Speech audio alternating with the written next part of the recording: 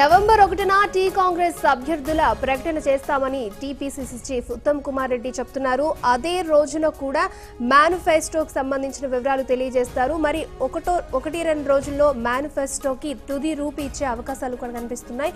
So ఎన్నికల దగ్గర పడుతున్న వేళ టీ కాంగ్రెస్ అభ్యర్థులను ప్రకటించడం కింద ఆలస్యమైనప్పటికీ కూడా కాంగ్రెస్ ఎన్నికల్లో దూకుడు పెంచిందనే చెప్పుకోవచ్చు.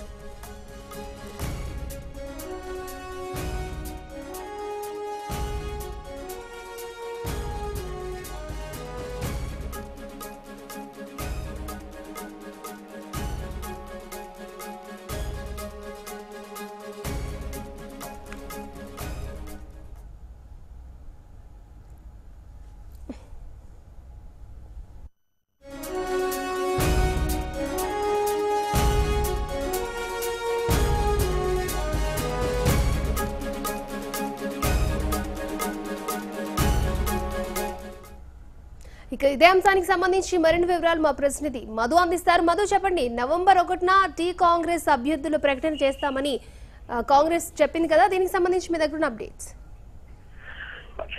ఈ వచ్చే నవంబర్ ఒకటో తారీఖు రోజున కాంగ్రెస్ పార్టీకి సంబంధించినటువంటి మేనిఫెస్టో విడుదల చేయనున్నారు. మేనిఫెస్టోలో ఇప్పటికే కాంగ్రెస్ పార్టీకి సంబంధించినటువంటి టీం అంతా కూడా వివిధ ఆ, సంఘాలకు సంబంధించినటువంటి కానీ వివిధ ఉద్యోగుల సంఘాలకు సంబంధించి కానీ వివిధ ఆ, సంస్థలకు సంబంధించినటువంటి అందరి సూచనలు తీసుకోవడం జరిగింది. సమాజంలో విద్యార్థులకు సంబంధించి నిరుద్యోగులకు సంబంధించి మహిళలు సంబంధించి ఇలా సమాజంలో రకరకాలుగా ఎన్ని రకాలకు సంబంధించిన ఆశలు ఉన్నాయో వారందరినీ సంతృప్తి పరచడం కోసం కాంగ్రెస్ పార్టీ మేనిఫెస్టో తయారు చేయడానికి సిద్ధమైంది. దాంట్లో భాగంగా మేనిఫెస్టో జరిగింది అదే మేనిఫెస్టోతో పాటుగానే నవంబర్ మొదటి వారంలో కాంగ్రెస్ పార్టీకి సంబంధించినటువంటి పూర్తి అభ్యర్థుల లిస్టు బయటికి విడుదల చేయాలని కూడా కాంగ్రెస్ పార్టీ నిర్ణయం తీసుకుంది.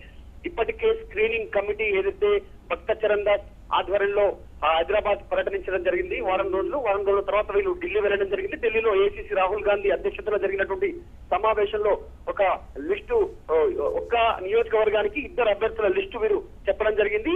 దాంట్లో భాగంగా ఫైనల్ అయినట్టుగా తెలుస్తుంది ఫైనల్ లిస్ట్ కోసం మరొకసారి ఇక్కడ హైదరాబాద్ టూర్ రావడం జరిగింది. హైదరాబాద్లో ప్రస్తుతం మేనిఫెస్టో కమిటీ మేనిఫెస్టో కమిటీతో పాటు స్క్రీనింగ్ కమిటీ ఇక్కడ తీవ్రంగా చర్చ చేస్తుంది. మేనిఫెస్టో భాగంగా ఏ అంశాలు పెట్టాలని మేనిఫెస్టో టీం వర్క్ చేస్తుండగా స్క్రీనింగ్ కమిటీ ఫైనల్ లిస్ట్ తయారు చేసేటువంటి పనిలో నిమగ్నమైంది. దీనికి సంబంధించి ఇంకా ఎవరైనా నేతలు టికెట్ ఆశించే వారు కూడా మమ్మల్ని కన్సిడర్ చేయొచ్చు మమ్మల్ని కలవచ్చు అనేటువంటి ఒక ప్రకటన కూడా విడుదల చేయడం జరిగింది. దాంట్లో భాగంగా ప్రస్తుతం గోల్కొండ రిసార్ట్ హోటల్లో ఏదైతే హైదరాబాద్లో ఉన్నటువంటి గోల్కొండ రిసార్ట్ హోటల్లో ప్రస్తుతం కాంగ్రెస్ పార్టీ కీలక నేతలతో పాటు స్క్రీనింగ్ కమిటీ భేటీ కావడం జరిగింది.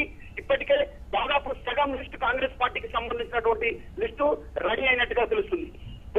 పొత్తుల్లో వదిలేసి వదిలే వదలాలకు వదిలేయాల్సినటువంటి సీట్లను మినహాయించి కాంగ్రెస్ పార్టీ ఎక్కడ పోటీ చేయాలనేటువంటి లిస్ట్ ఇప్పటికే రెడీ అయింది. దీనికి సంబంధించి కొద్దిగా కొద్దిసేపటి లేదంటే రేపటి వరకు ఒక సమాచారం వచ్చేటువంటి అవకాశం ఉంది. ఆ, మీడియాకు ఇప్పటికే అంటే సీనియర్ నేతలైనటువంటి కొన్ని లిస్టు మనకు చెప్పుకోవచ్చు. ఉదాహరణకు జానారెడ్డి కావచ్చు ఉత్తమ్ కుమార్ రెడ్డి కావచ్చు ఇలా కీలక నేతలంతా సిట్టింగ్ స్థానాలు వదిలేయక కొన్ని స్థానాల్లో ఈసారి యువతకు అవకాశం ఇవ్వాలని చెప్పేసి సమీకరణిస్తున్నట్టుగా తెలుస్తుంది. ఈసారి ఓయూ విద్యార్థులకు కూడా సీటు కేటాయించాలని వీరు పట్టుబడుతున్నట్టు తెలుస్తుంది.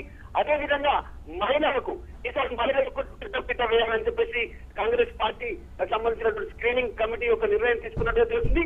దాంతో పాటు ఈసారి కాంగ్రెస్ పార్టీకి గెలుపు చాలా కీలకం కానున్నటువంటి దశలో తెలంగాణలో ఎంపీ స్థానాలుగా లాస్ట్ టైం రెండు వేల పద్నాలుగులో ఎంపీకి పోటీ చేసినటువంటి అభ్యర్థులను ఈసారి ఎమ్మెల్యే బరిలోకి దించాలనేటువంటిది కూడా ఆ ప్రస్తుతం స్క్రీనింగ్ కమిటీ ఆధ్వర్యంలో చాలా చర్చిస్తున్నట్టుగా తెలుస్తుంది. దీంతో పాటు ఇతర పార్టీల నుంచి ఈ మధ్య కాలంలో కాంగ్రెస్ పార్టీలోకి జాయిన్ అయినటువంటి కీలక నేతలకు కూడా టికెట్లను సమీకరణాల ప్రకారంగా ఇవ్వాలి అనేటువంటి నడుస్తుంది. దాంట్లో భాగంగా మొత్తానికి కాంగ్రెస్ పార్టీ నవంబర్ మొదటి వారంలో సీట్లకు సంబంధించినటువంటి పూర్తి నేత పూర్తి లిస్ట్ ఒకటేసారి బయటికి బయటికి విడుదల చేయాలనేటువంటి దూరనిశ్చయంతో ఉంది. అదేవిధంగా మేనిఫెస్టో కమిటీ కూడా చాలా ప్రజాకర్షకమైనటువంటి పథకాలను ఇందులో పెట్టి ఎలాగైనా అధికారం చేపట్టాలనే ఉద్దేశంతో దాని ప్రకారం కూడా వీళ్ళు ఒక స్పష్టమైనటువంటి ఒక మేనిఫెస్టోను తయారు చేయడం జరిగింది.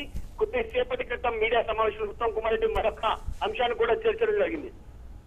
ఏదైతే సైనికులు ఉన్నారో మాజీ సైనికులు ఉన్నారో వారికి దేశం భారత ప్రభుత్వం తరఫు నుంచి ఏదైతే భూమి కేటాయింపుకు సంబంధించినటువంటి అంశంతో రాష్ట్ర ప్రభుత్వం అమలు చేయడం లేదు. టిఆర్ఎస్ ప్రభుత్వం ఐదు ఎకరాల భూమిని ఇస్తాం. వాళ్ళకు సొంతంగా ఇల్లు నిర్మించుకోవడానికి ఐదు లక్షలు ఇస్తాం. ఇంకో ఇంకో మరొక ఐదు లక్షలు మిత్తి లేకుండా ఏదైతే ప్రభుత్వమే మిత్తి భరించేలాగా కార్యక్రమాలు చేపడుతున్నట్టు వాళ్ళందరికీ కానీ చనిపోయినటువంటి సైనికుల కుటుంబాలను ఆదుకునేటువంటి చర్యలు కూడా చేపడుతున్నామని చెప్పేసి ఉత్తమ్ కుమార్ చెప్పింది ఈ విధంగా మేనిఫెస్టో కమిటీ కూడా ప్రతి అంశాన్ని చాలా సూక్ష్మంగా. ముందుకు వెళ్తా ఉంది. అక్షర. Thank you Madhu